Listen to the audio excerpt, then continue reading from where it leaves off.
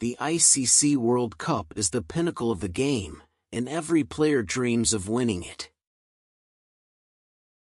The World Cup is the biggest stage in cricket, and it's where the best players in the world come together to compete.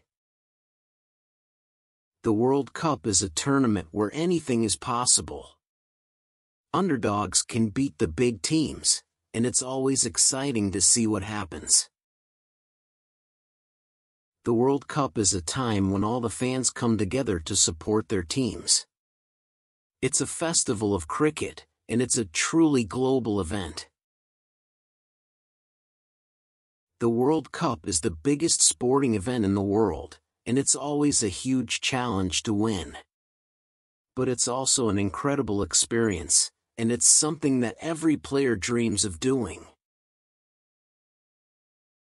The World Cup is a tournament where you need to have a winning mentality.